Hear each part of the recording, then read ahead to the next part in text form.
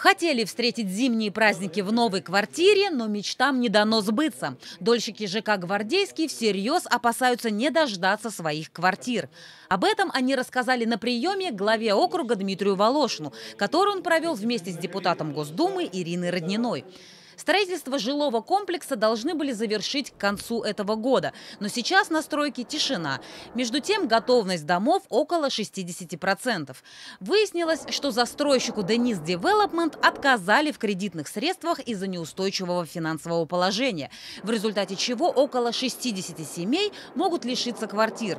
Нужен новый застройщик, но здесь возникают проблемы. Застройщики отказываются, потому, что не видят в этом материальной выгоды, откровенно говоря. То есть ну, для них это нецелесообразно. Ввиду того, что на объекте еще висит социальная нагрузка, ну как бы ее нужно построить там, в виде там, трех объектов, если не память не изменить, там детский сад, школы и еще там что-то.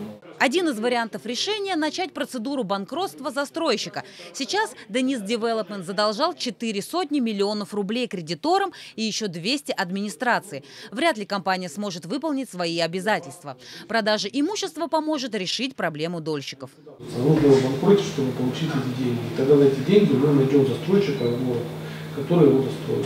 На прием приходили жители микрорайона Левобережный, недовольные проведенным два года назад капитальным ремонтом подъезда на улице Пожарского. В рамках программы на работы выделили 600 тысяч рублей. Но спустя два года внутренние двери разбиты, краска сыпется, плитка нуждается в обновлении. Дмитрий Волошин дал поручение разобраться.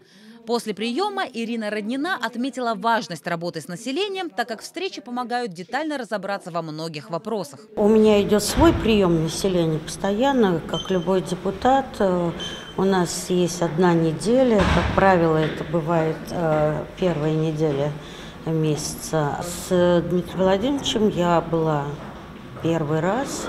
Э, если говорить о приеме, то все достаточно содержательно вопросы, которые действительно касаются города. Напомним, встречи с Дмитрием Волошиным проходят несколько раз в месяц. Обратиться со своими проблемами может каждый.